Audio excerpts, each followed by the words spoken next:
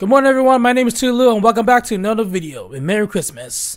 Let's get down to this. Since today is the 25th, I'll be announcing the two lucky winners who enter my giveaway. So, congratulations to Uving and Yingtown for winning my giveaway. I'll message you guys soon. And for those who entered the giveaway who didn't win, I didn't announce your names. Do not worry.